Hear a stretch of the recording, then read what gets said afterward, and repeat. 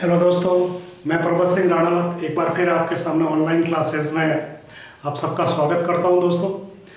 आज दो महत्वपूर्ण परियोजना को पढ़ने जा रहे दोस्तों, एक व्यास परियोजना और दूसरी है झाकम परियोजना।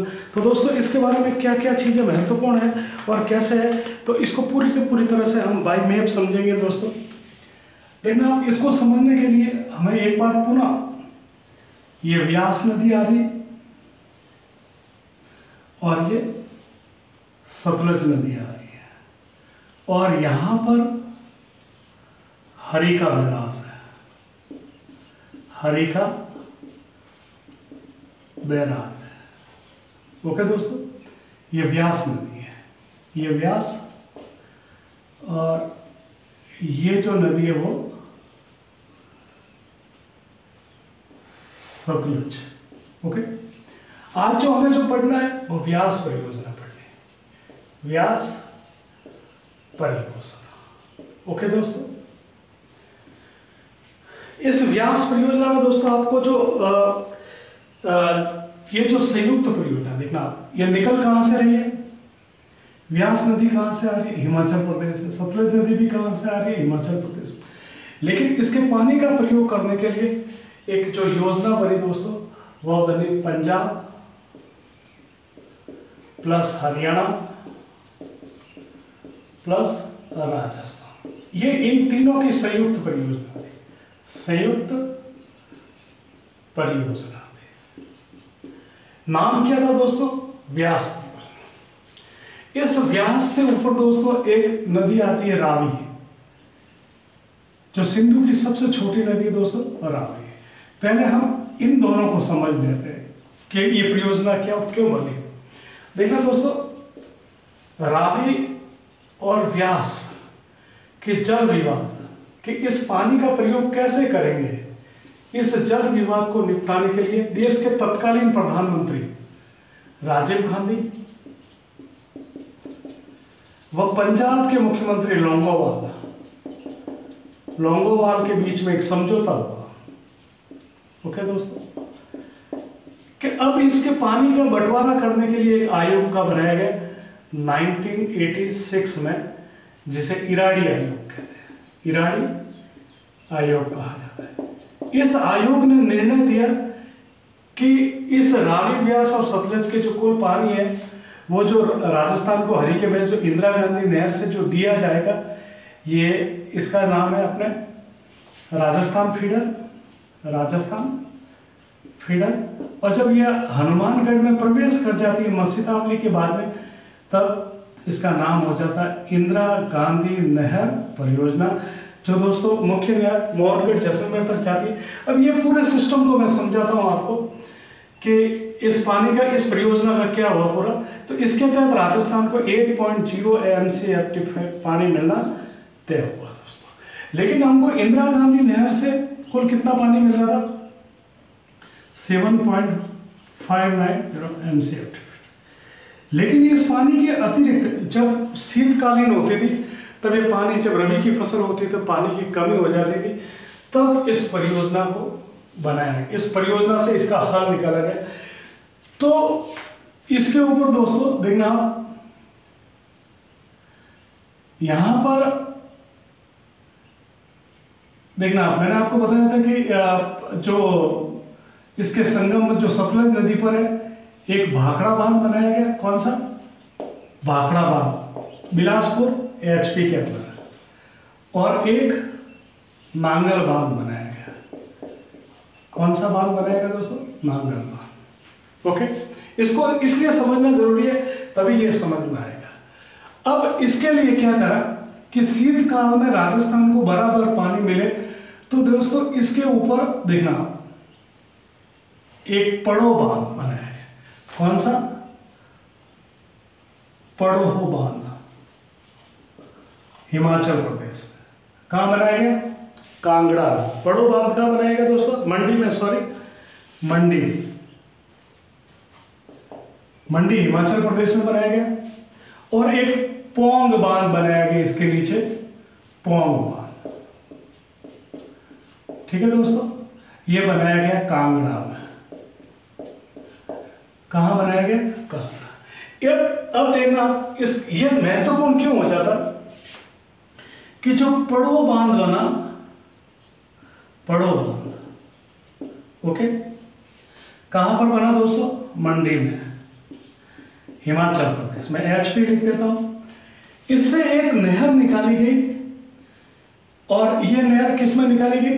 ये देखना, एक नहर निकालकर कहाँ से नहर निकाली गई पड़ो बाँध से। नहर निकालकर भाखड़ा नांगल में डाली गई। भाखड़ा नांगल में डाली गई। इसका उद्देश्य केवल एक ही था दोस्तों, ये पड़ो बाँध ठीक है ना? ये कौन सा था? पड़ो बाँध और पड़ो बाँध से एक नहर निकालकर भाखड़ा में इसके पानी को जल आपूर्ति के लिए, भाखड़ा की जल आपूर्ति बराबर रखने के लिए शीतकाल में इस बाँध का निर्माण किया गया पड़ो बाँध कहाँ किया गया? मंडी एचपी के अंदर। और इससे एक नहर निकालकर भाखड़ा के जल आपूर्ति को बनाए बराबर, ताकि शीतकाल में रबी की फ़सल में भाखड़ा में पानी की कमी नहीं हो, और उस कमी में उस जल की आपूर्ति को बराबर बनाए रखने के लिए पड़ों से एक नहर निकाली गई। और इसके दिहेर नामक स्थान पर, किस पर? बिहेर नामक स्थान पर इस पर एक विद्युत संयंत्र भी बनाया गया दोस्तों, जिस पर कुल जो 990 मेगावाट बिजली का उत्पादन होता था। कितना? बिहेर नाम। पड़ों से जो नहर निकाल गई, और ये कौन सा स्थान है? बिहेर। कहीं कहीं पर ये दिहेर बाँध भी लिखा हुआ लेकिन पड़ो बाँध है। पड़ो बाँध से एक दिहेर नहर निकालकर, जिस पर 900 जो 90 मेगावाट है, और इस मेगावाट में जो राजस्थान का हिस्सा बिहेर में वह 20 परसेंट। कितना है दोस्तों? 20 परसेंट। ओके? अब बात आती है दोस्तों, पड़ो बाँध कौन सा बाँध? पड़ो बाँध इस पड़ो बाँध से भी एक नहर निकालकर भाखड़ा और नांगल में डाली गई किससे? पड़ो पोंग बाँध से। पोंग बाँध। पोंग पोंग नामक स्थान पर बाँध बनाया गया और वहाँ से भी एक नहर निकाली गई और कहा डाली गई? भाखड़ा में डाली और इस पोंग पर देखना, इस पोंग से जो नहर निकाली गई इसका मात्र एक ही उद्देश्य था देखना। पड़ों से जो नहर निकाली गई थी, इसका मतलब था भाखड़ा के अंदर, भाखड़ा के अंदर जो जल आपूर्ति उसको बराबर बनाए रखने क्योंकि इस पानी का उपयोग कौन करता था? पंजाब, हरियाणा और राजस्थान। ओके दोस्तों? लेकिन पोंग से जो नहर निकालेगी, उसका एकमात्र उद्देश्य था कि जो इंदिरा गांधी नहर परियोजना का जो पानी दिया जा रहा है किस काल में शीतकाल यानी कि रबी की फ़सल के लिए और इस रबी की फ़सल के लिए इसको बराबर बनाए रखने के लिए इस पोंग से नहर निकाली गई और वह पानी हमको जो है इंदिरा गांधी नहर पानी से, जो है हरी के बैराज से इसमें डाल दिया जाता और यहाँ से इंदिरा गांधी नहर के माध्यम से हमको ये पानी मिल जाता। ओके दोस्तों तो इस नहर का फॉर्म का जो नहर का उद्देश्य था, वह अलग था और पड़ों के बाँध का उद्देश्य अलग था। लेकिन व्यास नदी पर कितने बाँध बनाए गए? देखना, व्यास नदी पर कितने बाँध बनाए गए? एक पड़ो और एक ओके दोस्तों, पड़ो का पानी किसमें? भाखड़ा में। ओके, उद्देश्य क्या था? भाखड़ा की जल आपूर्ति को बराबर बनाए रखना। पोंग से इंदिरा गांधी नहर की जल आपूर्ति को बराबर बनाए रखना। अब दोस्तों, इस पोंग जो नहर निकाली गई, इस पर भी दोस्तों, जो विद्युत संयंत्र है, पाँच इंटू छासठ। यहाँ से कुल कितनी? 330 मेगावाट और एक जो रिएक्टर लगाया गया वो साठ मेगावाट, यानी कि कितना? साठ मेगावाट दोस्तों ओके तो यहाँ से जो कुल विद्युत का उत्पन्न होता था वह 300 मेगावाट बिजली। कहाँ से? पोंग से जो विद्युत का उत्पादन होता तीन सौ नब्बे मेगा। कुल कितने संयंत्र लगे हुए थे? छह। पाँच जो है, छियासठ मेगावाट, एक है जो साठ, तीन सौ मेगा। लेकिन जो दिहेर में जो विद्युत संयंत्र लगाया गया था, इस नहर पर वो कितना था? नौ सौ नब्बे। अब दोस्तों ध्यान रखना अगर आपको पूछे आ, कि यहाँ पर देखना हमारे बिहेर में या पड़ो बाँध में पड़ो बाँध में राजस्थान का हिस्सा कितना था? बीस परसेंट। पड़ो बाँध कहाँ पर है? मंडी में। पोंग बाँध कहाँ पर है? कांगड़ा में। ओके दोस्तों तो पड़ो बाँध में हमारा हिस्सा 20 परसेंट था और पोंग बाँध में जो हमारा हिस्सा था वह 59 परसेंट राजस्थान का हिस्सा था। किसका? पोंग बाँध में कितना था? 50 अब राजस्थान को जितनी भी विद्युत परियोजना है, उसमें से सबसे ज़्यादा जो विद्युत मिलती है राजस्थान को, वह व्यास परियोजना से किससे मिलती है दोस्तों? व्यास परियोजना से दोस्तों, याद रखना 990 का 20 परसेंट। और यहाँ जो जो विद्युत उत्पादन हो रही है, तीन सौ नब्बे, उसका उनसाठ परसेंट। तो राजस्थान को किसी परियोजना से सबसे ज़्यादा यदि विद्युत उत्पादन या विद्युत की आपूर्ति होती तो व्यास परियोजना से। और दोस्तों, मैं बता देता हूँ, ये प्रश्न lot of time in competition okay दोस्तों? Lot of time in competition याद रखना, दोस्तों। ओके तो ये था अपना व्यास परियोजना। एक बार बड़े बड़े स्तर पर मैं पुनः समझा देता हूँ कि व्यास व्यास पर दो वाहन बनाए गए। एक पड़ो, जो मंडी में था इससे एक नहर निकाली गई जिसका उद्देश्य था भाखड़ा के जल आपूर्ति को बराबर बनाए रखना। इसके ऊपर एक और बाँध बनाया पोंग, जो कांगड़ा में है, और इसका उद्देश्य था इंदिरा गांधी नहर जो शीतकाल में उसको बनाए रखना, उसके विद्युत की मतलब उसके जल की आपूर्ति रबी फ़सल के लिए बनाए रखने के लिए इससे नहर निकालेगी ओके दोस्तों पड़ो बाँध में राजस्थान का हिस्सा कितना था? बीस परसेंट। यहाँ से कितनी विद्युत उत्पादन होती है? नौ सौ ओके? पोंग बाँध कांगड़ा में बना उससे एक नया अधिकारी के वही इंदिरा गांधी नहर में, शीतकाल में रबी की फ़सल के लिए इसकी आपूर्ति को बराबर बनाए रखने के लिए। और यहाँ पर छह रिएक्टर है, पाँच से छियासठ मेगावाट और एक से छियासठ और कुल कितने मेगावाट बिजली उत्पादन होती? तीन सौ नब्बे। और राजस्थान का हिस्सा कितना? फिफ्टी नाइन परसेंट और दोस्तों, राजस्थान को सबसे ज़्यादा विद्युत कहाँ से मिलती है? तो व्यास परियोजना से मिलती है। और ये प्रश्न कई बार आर एस प्रीलियम्स और lot of time in other competition तो आप ध्यान रखना, यदि हमारी व्यास परियोजना, इसके साथ ही हम एक छोटी सी परियोजना और लेते हैं दोस्तों जिसका नाम है जाखम परियोजना। जाखम परियोजना। ओके दोस्तों तो उसको मैं आपको समझाता हूँ कि जाखम किस प्रकार की है। इसके मैं समझाता हूँ दोस्तों ओके देखना जाखम नदी कहाँ से निकलती है वो? प्रतापगढ़ से निकलती है। प्रतापगढ़। प्रतापगढ़ के कहाँ से? छोटी सादड़ी से। छोटी सादड़ी ओके दोस्तों भौर माता के मंदिर से निकल भौर माता की पहाड़ियों से निकलती है। और इस पर एक बाँध बना के मैं लिख देता हूँ, जाखम परियोजना। जाखम परियोजना। ओके दोस्तों, कहाँ पर है? प्रतापगढ़। ठीक है दोस्तों? देखना, इसके अंदर मैं बता देता हूँ, दो नदियाँ निकल, नदियाँ कुल पाँच मिलती है। एक सुकली, एक करमोई ये दोनों मुख्य नदियाँ। और आप याद रखो तो एक सीता माता, ये सीता माता के अभ्यारण से भी गुजरती है, एक टाकिया और एक नालेश्वर। कौन से? नालेश्वर। ये पाँच नदियाँ निकल। लेकिन आपको याद कितनी करनी है? ये तो। ओके दोस्तों, ये राजस्थान का सबसे ऊँचा है यानी कितना है? इक्यासी मीटर। ये सबसे ऊँचा बाँध है। दोस्तों, याद रखना, ये राजस्थान का सबसे ऊँचा बाँध ओके? अब दोस्तों, इससे जो सबसे ज़्यादा फ़ायदा हो रहा, वो राजा, जो प्रतापगढ़, देखना, ये कहाँ से है? प्रतापगढ़। ये डैम कहाँ बना हुआ है? देखना, जाखम जो बाँध है, जाखम बाँध। ये बना हुआ छोटी सादड़ी, प्रतापगढ़ और जखमानिया गाँव है। जखमानिया गाँव इसीलिए इसका नाम जाखम बाँध भी है दोस्तों। राजस्थान का सबसे ऊँचा बाँध है, कितना है? इक्यासी मीटर है। अब इससे जो सबसे ज़्यादा जो फ़ायदा होता है, प्रतापगढ़ की दो तहसील को। एक दरियावत प्लस प्रतापगढ़। सर्वाधिक फ़ायदा। सर्वाधिक फ़ायदा। और यहाँ ये सिंचाई होती है तेईस हज़ार पाँच सौ पाँच। तेईस मतलब हज़ार हेक्टर में सिंचाई होती है। सिंचाई कैसे नहर, दोस्तों, इससे दो नहरें निकाली गई। कितनी नहरें?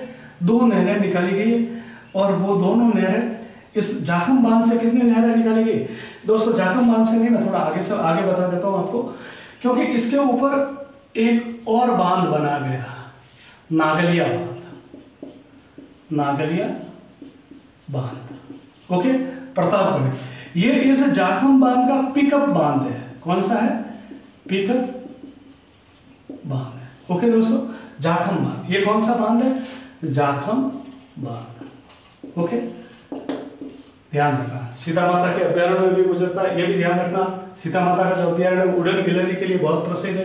पेंगोलिन इनके प्रसिद्ध है, सौसिंगा के लिए प्रसिद्ध है, शीतल की मातृभूमि है। सबसे ज़्यादा औषधियाँ यहीं पर मिलती है, हिमालय के बाद और माउंट आबू में। ये दोनों, ये नागलिया बाँध है जो इसका पिकअप बाँध है।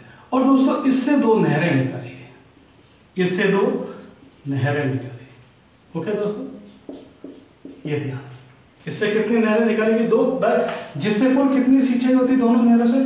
तेईस हज़ार पाँच सौ पाँच, तेईस हज़ार पाँच सौ पाँच हेक्टेयर में सिंचाई होती है। और दोस्तों, इस पर दो रिएक्टर लगे हुए हैं। कितने रिएक्टर लगे हुए विद्युत उत्पादन के लिए। दो रिएक्टर लगे यानी साढ़े चार साढ़े चार का एक रिएक्टर है।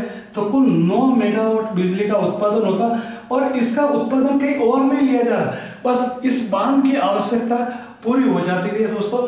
तो ये था आपका चकमानिया बाँध। एक चीज़ दोस्तों और ध्यान रखना कि ये वो बाँध है यदि हम माही बजाज सागर के बाद दूसरा बाँध दूसरा बाँध, माही बजाज सागर राजस्थान का सबसे लंबा बाँध है, ये राजस्थान का सबसे ऊँचा बाँध है।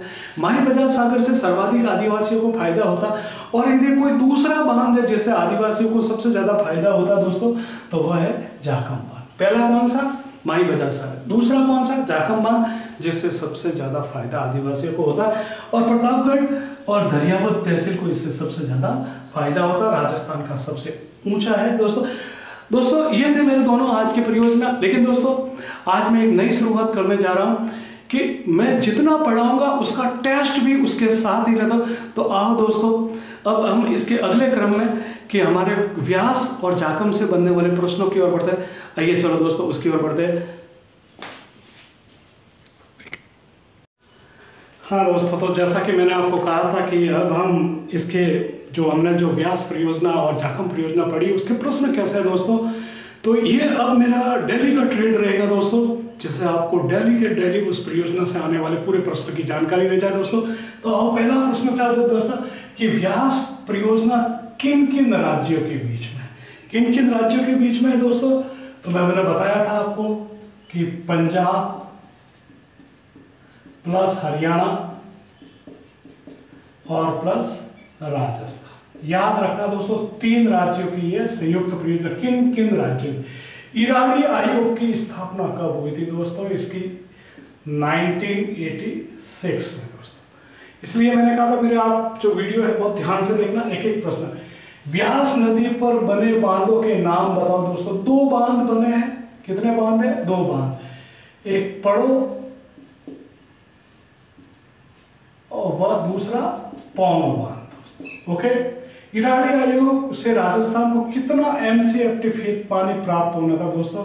8.06 M C F T feet पानी दोस्तों याद रखना दोस्तों। और कई बार पूछे गए ये वही प्रश्न है दोस्तों जो हर अब तक किन किन एग्जामों में पूछे गए वही उठा के मैंने लाया। पोंग बाँध हिमा, हिमाचल के किस ज़िले में बना हुआ? पोंग बाँध नंबर एक दोस्तों ये व्यास नदी पर बना हुआ और कहाँ पर बना हुआ? कांगड़ा। हिमाचल के कांगड़ा ज़िले में ओके हिमाचल के कांगड़ा ज़िले पड़ो बाँध कहाँ बना हुआ दोस्तों? तो मंडी एचपी के अंदर। याद रखना दोस्तों ओके पोंग बाँध में राजस्थान का हिस्सा कितना दोस्तों? पोंग बाँध। पोंग बाँध में राजस्थान का जो हिस्सा है वह 59 परसेंट ओके पड़ो बाँध में राजस्थान का हिस्सा कितना है? तो इसका जो हिस्सा है वह दोस्तों ट्वेंटी परसेंट। ओके दोस्तों पड़ो बाँध का पड़ो बाँध का उद्देश्य क्या देखना दोस्तों पड़ो बाँध का उद्देश्य क्या इसका फैक्चुअल आंसर में इसका लिखना पड़ेगा आपको कि भाखड़ा भाखड़ा की जलापूर्ति को बराबर रखने के लिए, जलापूर्ति को कायम रखने के लिए। और पोंग बाँध का उद्देश्य क्या था दोस्तों? पोंग बाँध का उद्देश्य था, इंदिरा, जो गांधी नहर परियोजना है, उसमें शीतकाल में किस काल में? शीतकाल में। यानी कि रबी की फ़सल को, रबी की फ़सल के समय पानी की ज़्यादा आवश्यकता होती है, तब उस पानी की आवश्यकता को पूरा करने के लिए पोंग बाँध के ओके? तो राजस्थान का सबसे ऊँचा बाँध कौन सा है दोस्तों? राजस्थान तो जाखम बाँध। कौन सा हो जाएगा दोस्तों? जाखम बाँध दोस्तों। दूसरा, अगले प्रश्न, जाखम बाँध कितने मीटर ऊँचा है दोस्तों? तो इक्यासी मीटर। कितना मीटर दोस्तों? इक्यासी मीटर ओके? जाखम बाँध राजस्थान के किस ज़िले में स्थित है दोस्तों? प्रतापगढ़। किसमें स्थित है दोस्तों? प्रतापगढ़। अब दोस्तों, तीन प्रश्न मैं आपके लिए छोड़ रहा हूँ, जो आपको कमेंट बॉक्स में लिख के मुझे बताना ज़्यादा से ज़्यादा दोस्तों, और यह अब हिस्सा रहेगा दोस्तों, देखो प्रश्न है, जाखम से प्रतापगढ़ की किन किस तहसीलों को सिंचाई होती है दोस्तों? मेरे वीडियो को बहुत ध्यान से देखना, आपको आराम से मिलेगा। जाखम बाँध का पिकअप बाँध कौन सा है? कि जाखम बाँध के नीचे जो पिकअप बाँध बना है, उसका आपको नाम बताना है। और राजस्थान को सर्वाधिक, राजस्थान को सर्वाधिक विद्युत किस परियोजना से मिलती है दोस्तों? तो ये थे मेरे व्यास और जाकम से संबंधित प्रश्न दोस्तों। तो आप बहुत अच्छे से अगर आप तैयारी करना चाहते हैं तो आप वीडियो देखने के बाद इन प्रश्नों के उत्तर आप ज़रूर ज़रूर ज़रूर देखें और अपने दोस्तों में फैलाएँ। नमस्ते दोस्तों।